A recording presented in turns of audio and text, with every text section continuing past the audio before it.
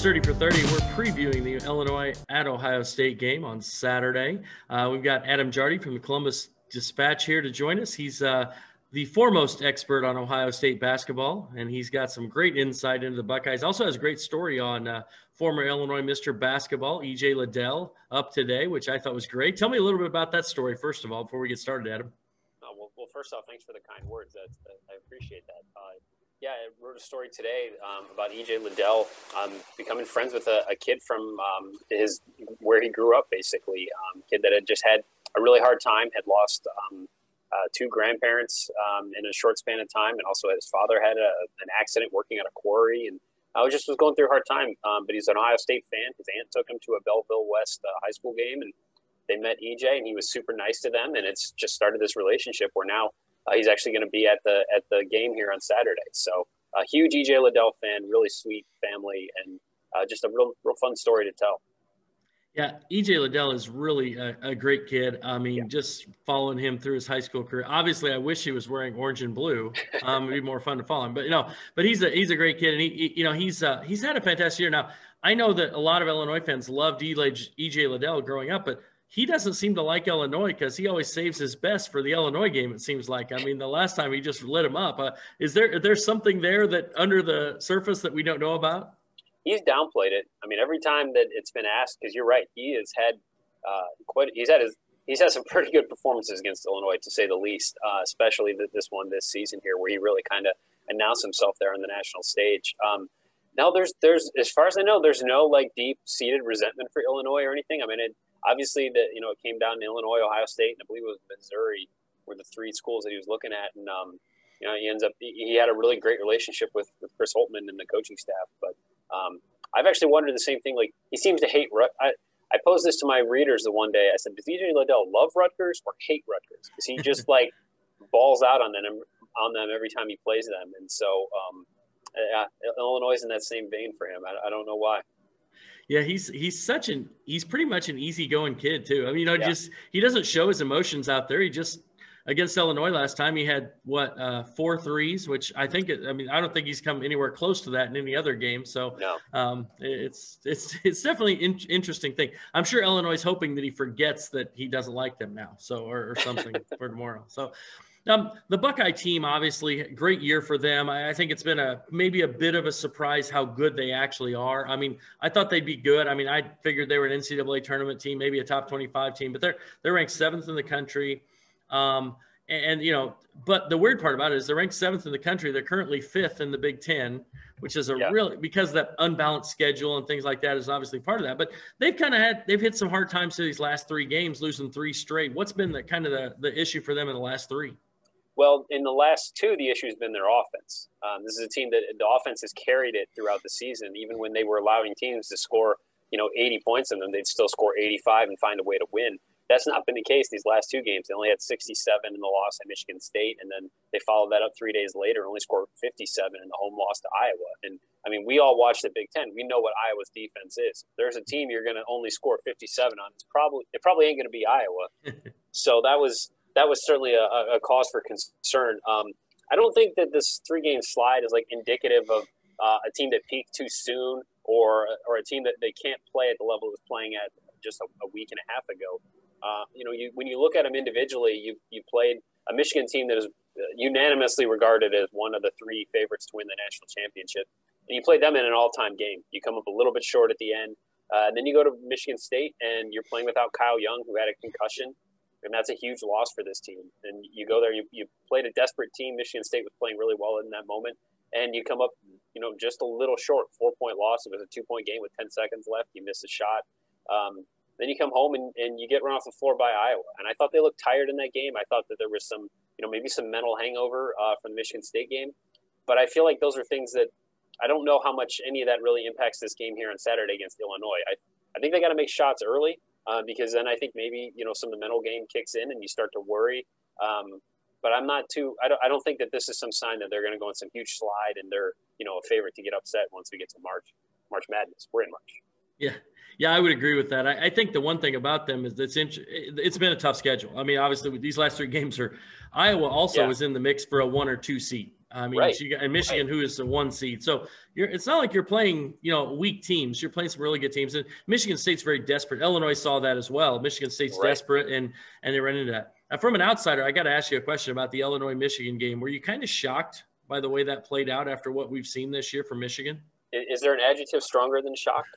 I mean, and I mean, the, every everything about that game. You're talking about, you know, a Michigan team that had just cruised since it comes back from a COVID pause uh, with the exception maybe the first 15 minutes against Wisconsin. Like they just they they looked unbeatable.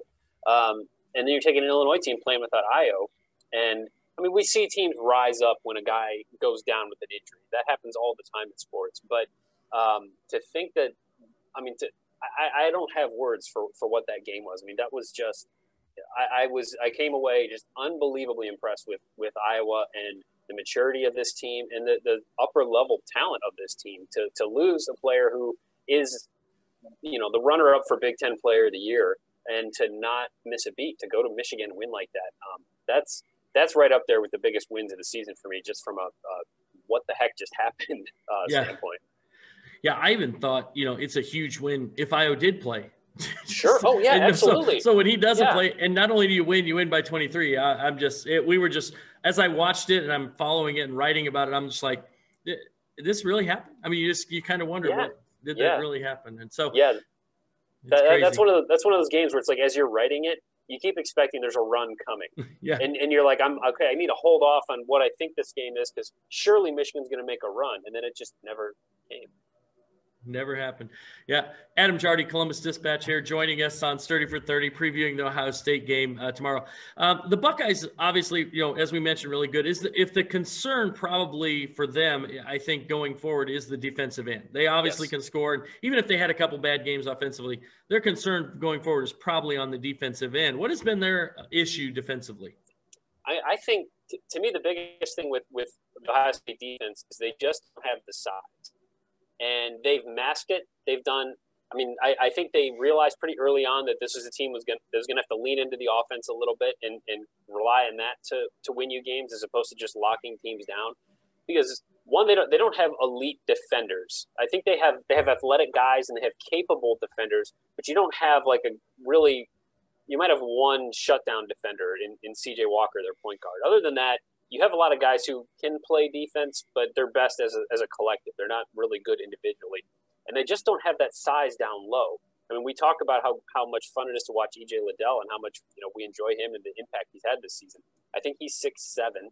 Um, yeah, EJ six seven. Kyle Young is six eight, and that, I mean those are their two primary post guys. Uh, uh, Zed Key, a freshman, he's 6'8", 245. But I mean, still, you, you think about going against a Hunter Dickinson, a Kofi Cockburn, um, you start going down the list in the Big Ten, uh, they don't have those big bodies, and I think that that puts a ceiling on how good you can be defensively. Um, and there's just you know this you, you can't you can't coach size, you can't coach height. Um, they've they've been able to overcome it, um, but then you see a Hunter Dickinson, a Luka Garza. Um, some of those guys have a lot of success in them recently. That's the biggest thing to me about this defense. Is there a, so as we you know look at Ohio State um, as a team, they've they've even though they lost three in a row, they've got some really good wins. I mean, they're they're right up there with Illinois in quad one wins, uh, mm-hmm. two of the top teams in the country in quad one wins. When they win, is there is there a key when you look at Ohio State? Is there a key to their success as they go forward? I, I think the key is getting contributions across the board because uh, EJ Liddell will rise up and go off for 26, and Duane Washington will will rise up and go off for 30 like he did in the loss to Michigan.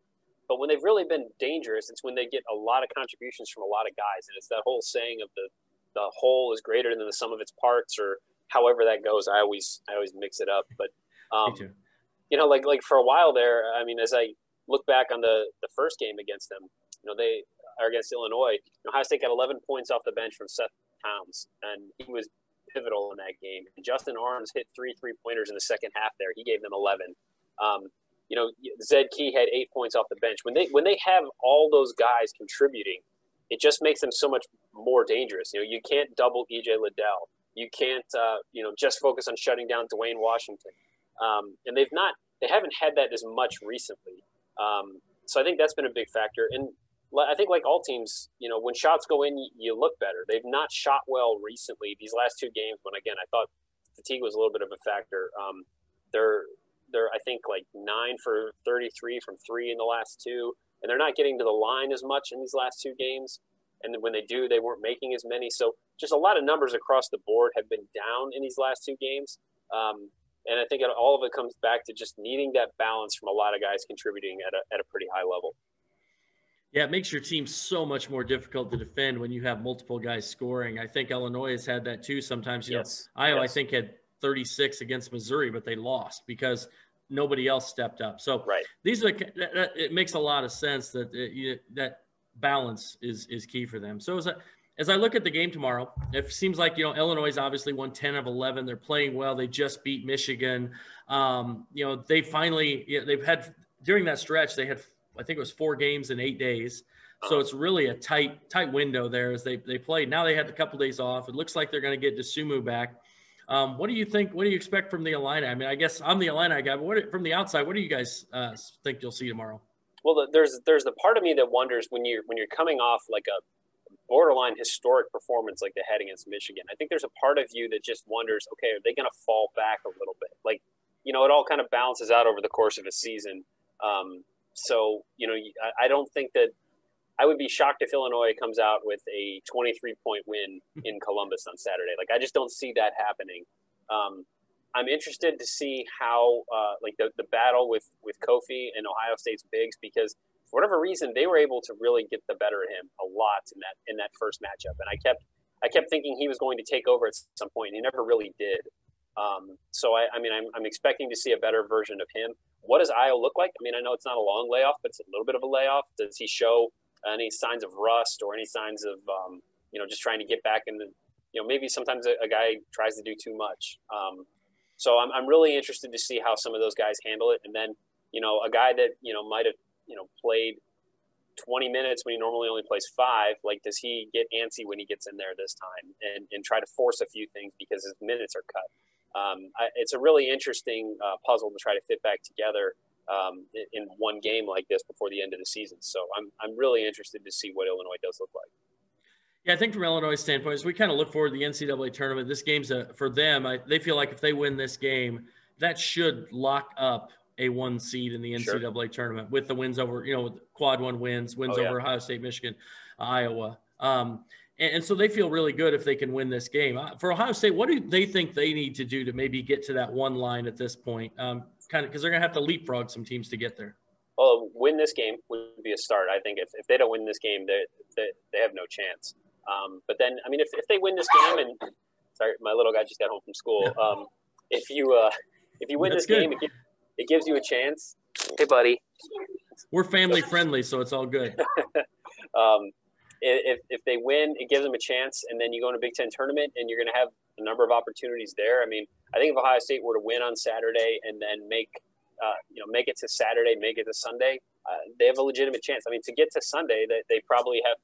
I mean, to get to Sunday, they'd have to beat a Michigan, um, an Iowa, an Illinois, somebody like that. So um, it would be tough, um, but it's certainly in the realm of possibilities because they do have a big body of work there. Yeah, definitely. With the number of quad one wins both these teams have, I, I think, and uh, you know, playing in the this is one of those conferences that's it's legendary right now. I mean, yeah. historically strong, um, yeah. the Big Ten this year. So, um, so I think you you get a little run and you're going to be successful. So, yeah. well, I, am looking forward to the game tomorrow. I'm really excited. What what do you what do you have a prediction? Um, I'm always bad at these. Um, I'm I'm given how Illinois has played recently and how Ohio State has played recently, I think you would have to expect Illinois to come out with a close win. But I think I also could very easily see a scenario where Ohio State comes out, hits some shots early, and all the good vibes come back, and they and they end up winning. I don't know by seven or eight points. Um, I don't know which of those two I think is going to happen. I honestly, I'm that's why I'm so excited for this game because I just I, I have no good feel for what we're going to see. Yeah, I think it's tough when you don't even know necessarily what to expect from the Illinois roster. First of mm-hmm. all, Ayo, and and then also coming off a what is an amazing win. Can you replicate that kind of defense? I thought, and yeah. I thought their defense was against Michigan. Yeah, Michigan missed some shots, but man, they they limited their their yes. ability to do things. I mean, they really made it tough on them. And so yeah, yeah, and, and I'm interested. I mean, Ohio State's a team that this is the first adversity it's faced all year. Whenever they've had in-game adversity or if they've had a loss, they've bounced back uh, until this last week here. There's a lot of pride on this team, and they've been through a lot of battles. Um, you know, not just this season, but the, they have guys that have been around college basketball a long time, and it would make you expect that they would have, you know, some sort of answer in them on, on in a game like this. Yep, I agree. I think it's uh, it's going to be an interesting game. Very intriguing matchup. It's going to be uh, three o'clock Saturday afternoon, four o'clock Eastern, I guess. Weird time, but a prime time, I guess. You know, for for Saturday afternoon sports, uh, should be a lot of fun. Um, we're very excited about it. Adam, I, appreciate you joining us here uh, on Sturdy for 30. And uh, again, take a Illinois fans take a check out to his story on EJ Liddell. EJ is a, uh, a kid. I, I, know that Illinois fans don't don't like EJ Liddell because he went to Ohio State. That, that's okay, but th- this might give you a little bit of better perspective on what EJ is like as a person, and also then when if he does go off tomorrow, you won't hate him quite as bad. So there you go. There so, you go. So just do my part. hey, I appreciate it. Hey, thanks for coming on, Adam. I appreciate it. Yeah, yeah. It's always good to talk to you. I always love reading your stuff and following you on Twitter. So thanks for having me. Thanks, man.